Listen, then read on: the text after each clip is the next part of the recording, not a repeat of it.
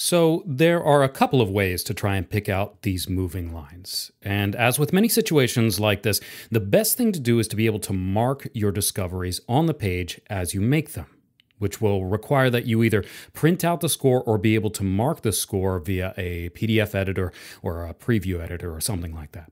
Uh, may seem like a bit of an extra hassle, but it can really make a difference in your learning efficiency. So, I do highly recommend it. As I tell all of my students, real musicians mark on their music. And I'll leave it at that. So let me play this first system for you again.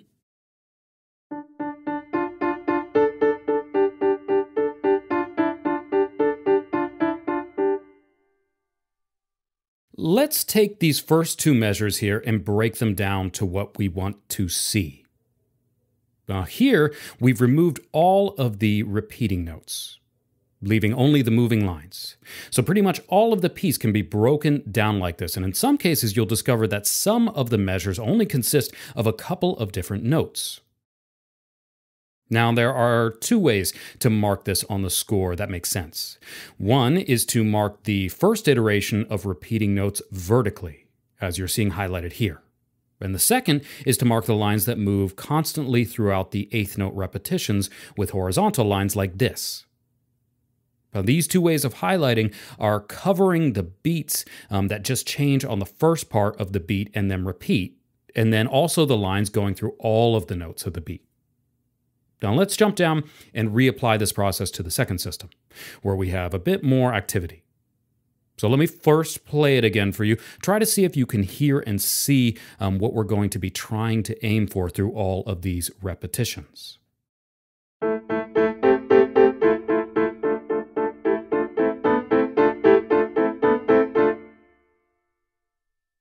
Let's first apply our vertical highlights, which we're going to put on the first eighth notes of any of the beats that simply repeat throughout.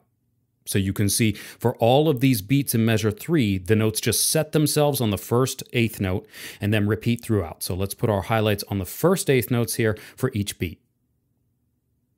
Now, you can see in measure four, we have two sets of moving through lines. Uh, one in the right hand happening under this repeated line of A's, and the other in the left hand happening above a line of A's. So let's put some horizontal highlights on both of those, giving us something that looks like this. Finally, let's do what we did earlier and subtract from the score all of the repeated notes, leaving us with only our highlighted moving notes. So, once again, this is one of those analytical processes that can really work for you if you put in the effort to make it happen. And going through and marking this piece um, with all of this info will really let you see um, these big picture elements more easily, making your learning process that much more efficient. Okay, so now let's shift gears and talk about a bit of the opposite. Now we're actually going to talk about how to play all of the repeating notes. And this is important because there is a bit of potential for tension here, um, specifically in the practicing process.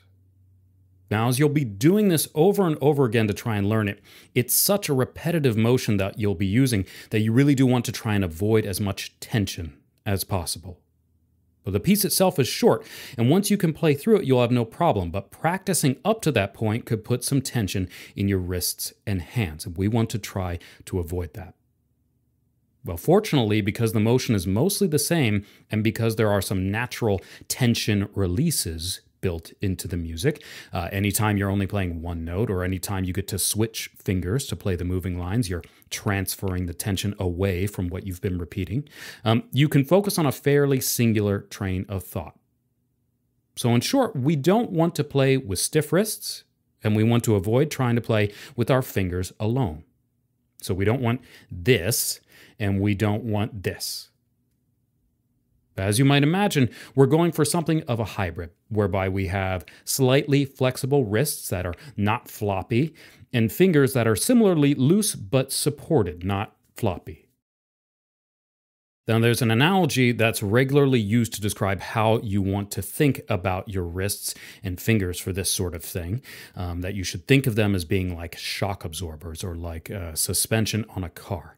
Um, and in this case, it's really not a bad way to think about things. You want to think about the energy as coming from your arms, um, being delivered to the keys through your fingertips with a gentle flex in both your wrists and fingers to keep them from building tension through stiffness.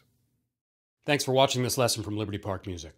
If you enjoyed this lesson and learned something from it, do us a favor, hit that like button. And if you really liked it, share it around. Let your friends and family check it out too.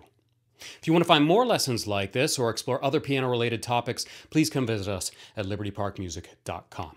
We have full piano courses ranging from beginner to more advanced levels, and everything is online and streaming 24 7 so that you can design your music learning around your schedule and learn in the comfort of your own home from a talented roster of professional teachers and musicians. Come check us out.